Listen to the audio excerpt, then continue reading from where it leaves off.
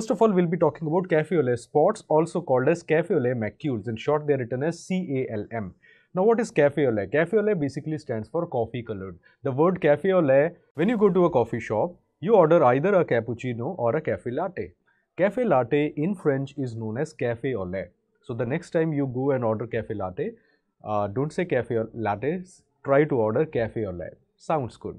But from entrance point of view, from medicine point of view, pediatrics point of view, cafe au lait is a very important lesion.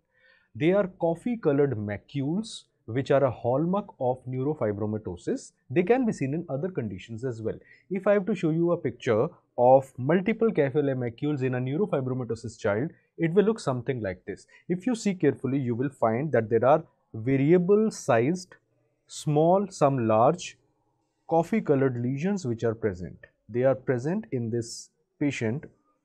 They are all irregularly shaped, they are all uh, brownish colored and they are all macular lesions. So, what are the things that you should know?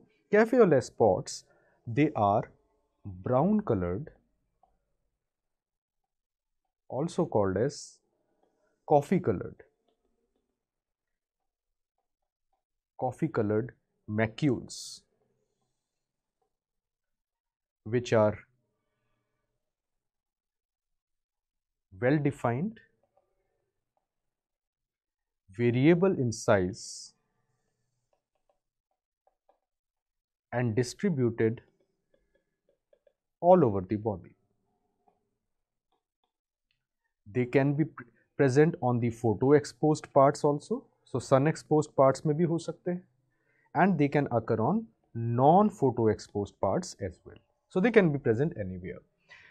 Can lait spots can be seen in normal people also? Yes. 1 to 3 cafe au lait spots or 1 to 3 cafe au lait macules can be seen even in normal children. They can be seen even in normal children. However, multiple lait spots are usually indicator of some underlying condition. Multiple we usually say uh, in adults 4 to 6 we say in case of children because it can be normally present the actual number we take these days is 6 or more 3 to 6 it remains variable. So, usually it indicates a underlying condition. If you do histopathology on histology you will find that these lesions where these macules, these hyperpigmented lait macules are present, there is increase in the number of melanocytes and increase in the melanin deposition. Increase in melanin deposition in the epidermis. But no enlargement of rete ridges are seen. There is no enlargement of these rete ridges. Enlargement of rete ridges is a diagnostic hallmark histological finding of lentigines which we will see in some time. So, this point helps you on histology in ruling out cafe au spots from lentigines. So, what are the conditions, common conditions where these cafe au lait spots can be seen. There is a very detailed described table in Nelson. So, the, the whole table is not needed. What we need to know is what are the common conditions in which cafe au lait macules can be seen. In the list which I am discussing, I have combined Nelson 21st edition, table of Nelson 20th edition and similar tables given in other pediatric texts. So, first of all, we have neurofibromatosis 1 and 2. The second common disorder associated with uh, macules is McCune-Albright syndrome. The third common is uh, Cowden syndrome. Another common syndrome is ring chromosome syndrome. Remember that these four or five group of conditions, they have a strong association with multiple lait macules. Nelson calls them as having strong association. Then we have other common disorders which include Russell-Silver syndrome, ataxia telangiectasia, basal cell nevus syndrome, Fanconi anemia, Bloom syndrome, Chediak-Higashi syndrome, tuberous sclerosis, Maffucci syndrome, Gaucher's disease, Hunter syndrome and Turner syndrome. Café macules can sometimes be seen in these conditions and there is a weak association with these conditions. So question can ask you which of the following are associated with café spots or all of the following can be seen associated with macules except. They can ask like this. They can ask strong association is seen with which of the following or weak association is seen with all of the following except. This type of questions can also be asked in super specialty exam. So this table based list which is given in Nelson is very important and it is a potential MCQ. They can put a question like this. Look at this picture and tell the likely strong associations. And that is, uh, so you need to identify this is café macule and then you need to go back to, to the list and answer accordingly.